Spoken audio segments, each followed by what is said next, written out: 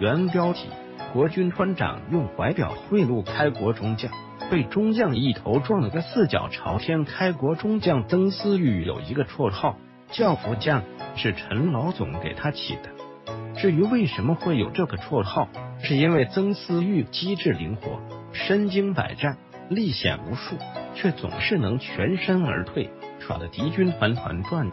红军第一次反围剿时。时任红军班长的曾思玉追赶一个敌军团长，这个团长又白又胖，在山里根本跑不动，没跑一会儿就快被曾思玉追上了。这个团长灵机一动，把一块怀表扔在地上，想等曾思玉捡怀表时就一枪干掉他。可没想到曾思玉非常灵活了，速度极快，还没等这个团长开枪。就已经把怀表抢到了手，然后顺势一头撞过去，把这个团长撞了个四脚朝天。曾思玉压着这个团长回去请功，战士们都说：“这个时候你还捡什么表啊？多危险！”曾思玉却豪爽的说：“怀表、手枪、俘虏三个我都要，一个都别想跑。”抗战开始后。曾思玉担任八路军鲁西军区政治部主任，主要工作是政工方面。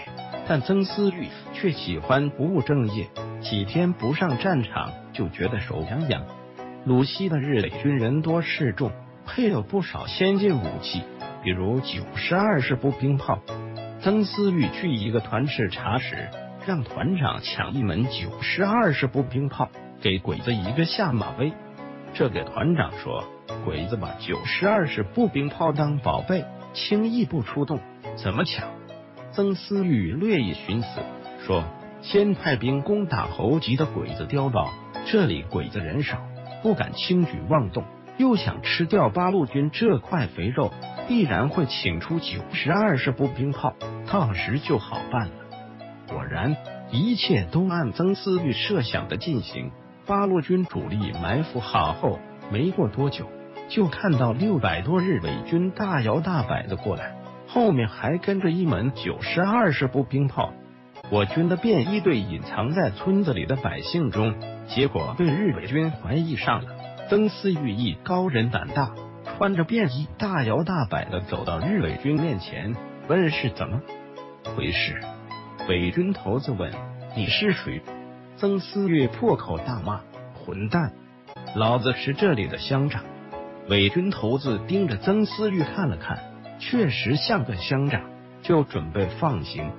曾思玉不能白来一趟，就塞给伪军头子两包好烟，问这次来的日军最高指挥官是谁。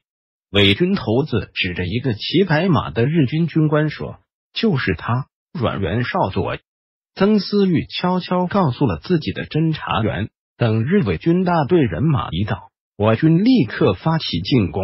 尤其是那个骑白马的阮元少佐，是我军重点关照的对象。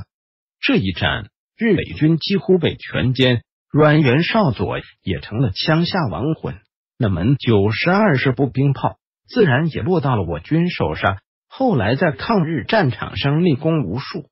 鲁西军区司令杨勇听说后，拍手叫好，说：“略施小计，就赚得一门大炮。”这个曾思玉就是有办法，不过曾思玉虽然脑子活、点子多，但在名利面前却好像突然变得很笨，从来不争。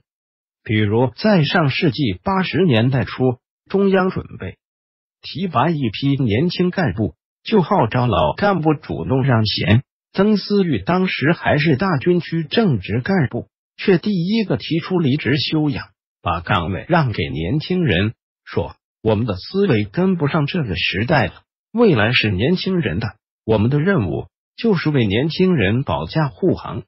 曾思玉离休后仍然没闲着，整理出版了《八年抗战烽火岁月》等图书，老有所为，一直活到了二零一二年，享年一百零一岁高龄。返回搜狐查看更多责任编辑。